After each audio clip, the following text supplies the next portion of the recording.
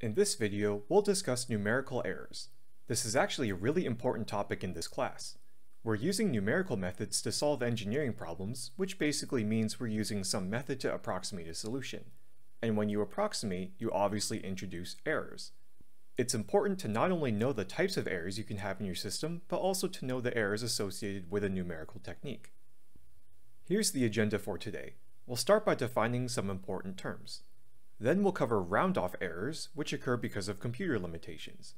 Digital computers generally don't give us the exact answer because of the limitations on representing numbers.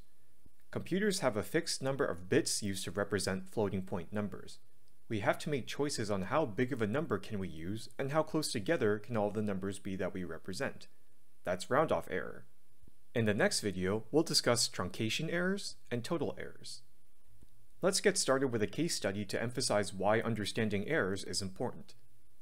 In 1982, the now defunct Vancouver Stock Exchange initialized their index at 1,000. The index is a number that helps investors compare current stock prices with past stock prices. It's proportional to the selling price of each stock, so economists use the index to assess market performance. If the index drops, that generally means stock prices have dropped and the market isn't doing too hot. On the other hand, if the index jumps up, then the stock prices have also jumped up, which means business is probably pretty good. In 1982, the Vancouver Stock Exchange housed about 1,400 individual stocks. Every time a stock price changed, which happened about 2,800 times on an average day, a computer recalculated the index to four decimal places, but only reported it to three. So what happened to that last decimal place? It turns out that the computer truncated, or cut off, the last decimal instead of rounding it. For example, if the index stood at 540.3256, the computer simply dropped the last digit, making it 540.325. What the computer should have done is round the last digit to make the index 540.326. Other exchanges like the S&P 500, which you've probably heard of, routinely round instead of truncate, but the folks at the Vancouver Exchange weren't aware of that. So basically, there is an error in computing the third decimal place of a number, which seems pretty insignificant. But since the index was recalculated almost 3,000 times per day, the error propagated extremely fast. The index ended up dropping by about one point a day, which built up to about 20 points in a one month span. And over 12 months, the index dropped to 725 when it should have been around 960. This was incredibly confusing for economists because they were actually setting records in the stock market. It also didn't line up with the rest of the world. Some other exchanges experienced positive changes in their index, so the folks in Vancouver knew something was awry. They contracted an independent firm to investigate, and that's when they uncovered the error. 22 months after the index was initialized, they manually corrected their index from about 525 to about 1100. As you can expect, this really confused everyone since the stock prices were the same, so people didn't really know why the index more than doubled. Long story short, this left a huge dent in their reputation and they eventually merged into the current day Canadian Stock Exchange. This is a great example of how an error so seemingly small, only four decimal places, can potentially cause billions of dollars in damage if left unchecked. Here's some more interesting case studies arising from numerical errors. I won't go over them. You can look them up at your own leisure, but I hope these illustrate the significance of understanding errors. Accuracy and precision are two terms that many people use interchangeably. This is actually incorrect. There is a difference.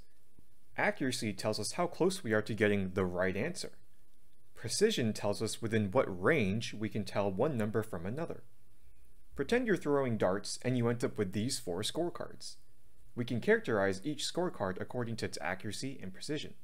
If we look at A, all the darts are decently close to the bullseye, but they're spread out we say that A is accurate but imprecise. On the other hand, all the shots in B are almost directly on top of the bullseye, and there's very little spread in the throws. We say that B is accurate and precise. Going down to C, you're never hitting the center and your throws are wildly scattered. That's inaccurate and imprecise. And for D, you're never hitting the bullseye, but at least you're consistent, so we say you're inaccurate but precise. Let's learn how to quantify error.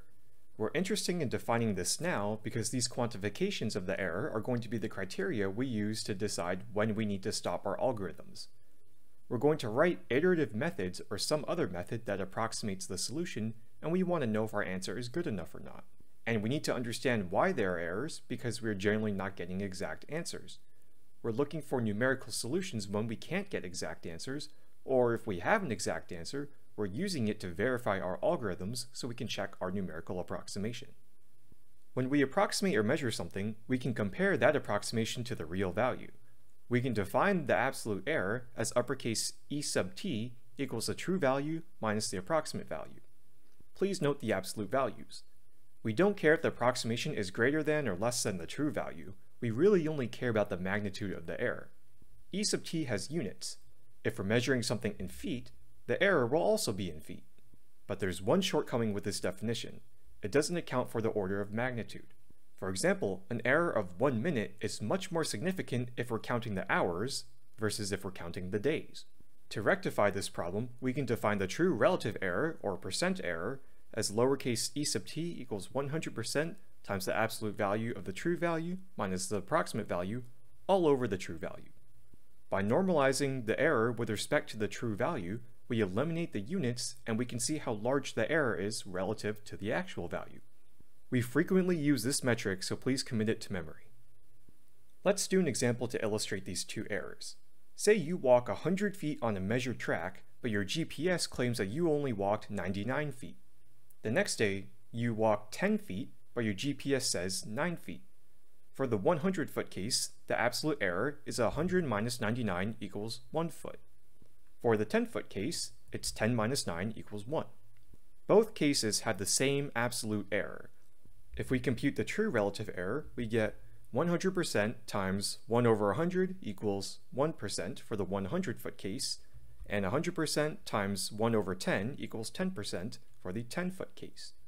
Here we can see that even though both cases had the same absolute error of 1 foot, the 10 foot case had a significantly larger relative error we can conclude that the GPS did a much better job at measuring the 100 feet than the 10 feet. The fundamental flaw in these errors is that they require knowing the true value. But you won't know the true value a lot of the time. After all, that's what the whole purpose of numerical methods is. We're trying to estimate the true value.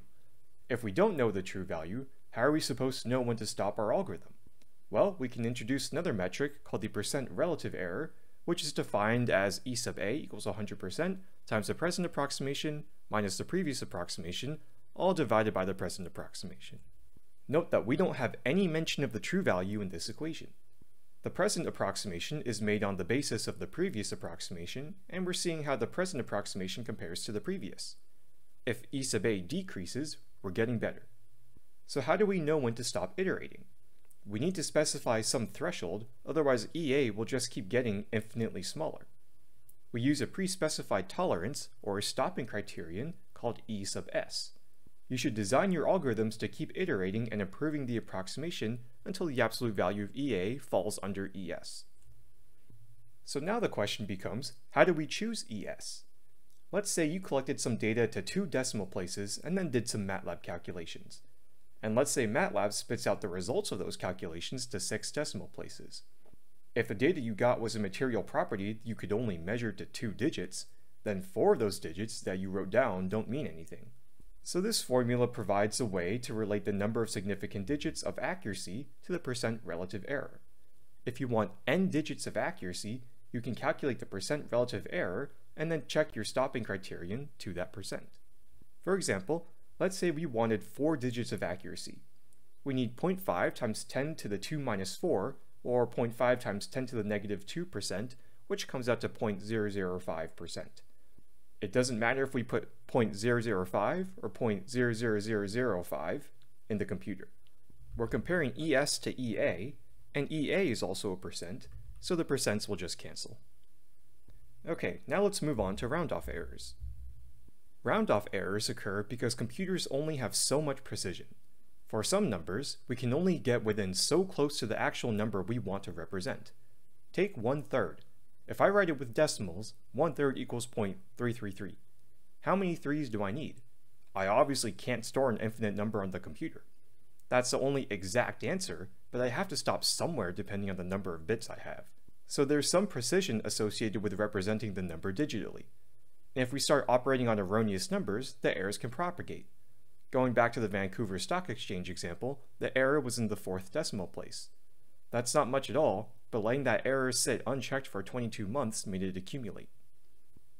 Computers represent numbers in binary. In fact, the word bit is a portmanteau of binary and digit. The number system we use in our daily life is called base 10. Base 10 uses the digits 0 through 9 to represent numbers.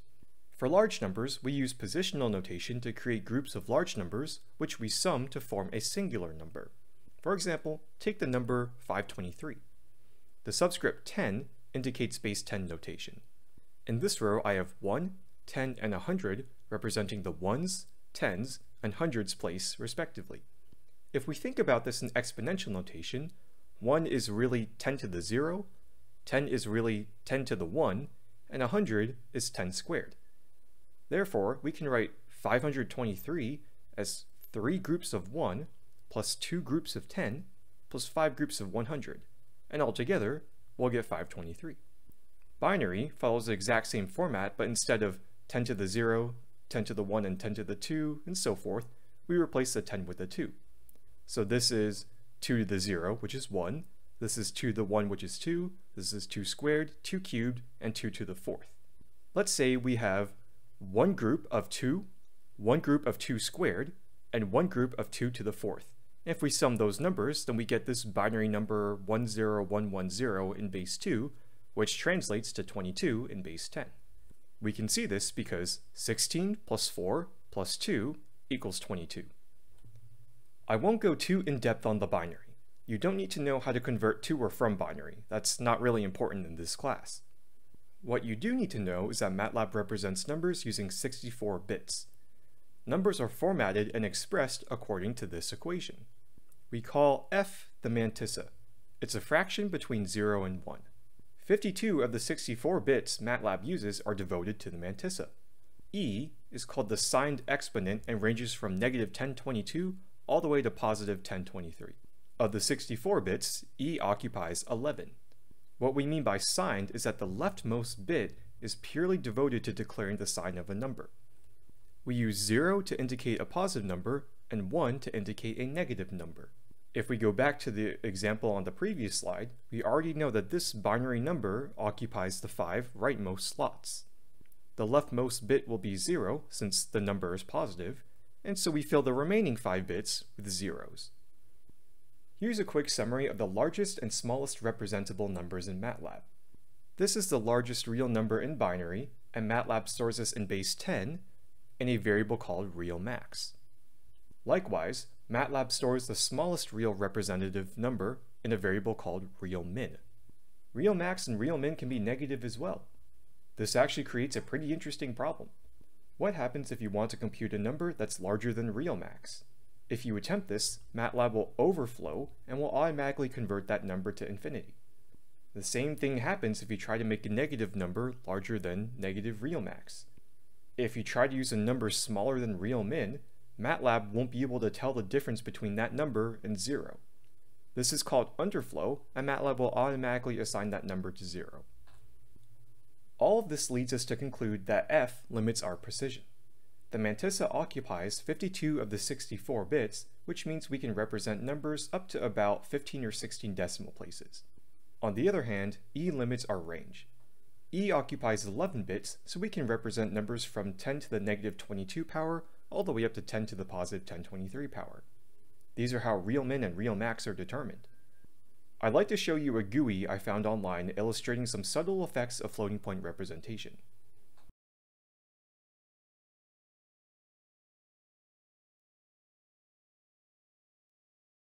This GUI was written by Cleve Moler, one of MATLAB's founding fathers. You can find the link to the GUI in the video description.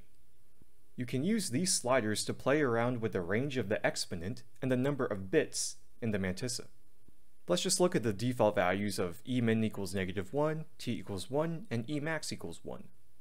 Because of our extremely limited precision and range, we can only represent six numbers. Notice how the interval between numbers increases as we move between orders of magnitude. For the numbers here, the spacing is 0.25. Once we cross over past 1, the spacing increases to 0.5. And once we cross over to 2, the spacing increases to 1. This means a number's round-off error is proportional to its magnitude. In addition, it means that the relative error will always have an upper bound. For this example, the maximum relative error would be 0.5. This value is commonly called EPS, or the machine epsilon. If we increase the mantissa by one digit, we only increase our range a little bit. But if we increase Emin or Emax, our range jumps. This implies that the exponent overwhelmingly determines these range limitations. Play around with this GUI to better understand how numbers are stored in different floating point representations. Let's explore some round-off errors while we're in MATLAB. Here's RealMin and RealMax.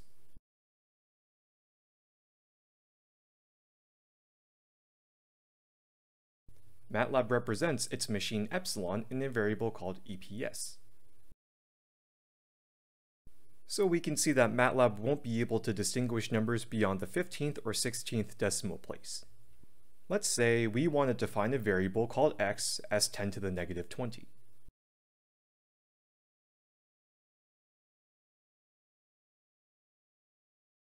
That's a really small number. Mathematically, if I add 1 to x and then subtract 1, I ought to get back x.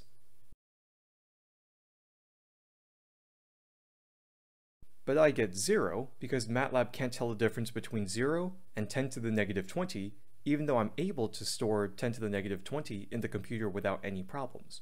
This is the result of round-off error. Finally, here are some reasons why you might get a round-off error. You tend to get it when you operate on small and large numbers together. This isn't an exhaustive list. You don't have to memorize any of these, but keep these in mind as you progress throughout the course. In the next video, we'll discuss truncation errors and the total numerical error.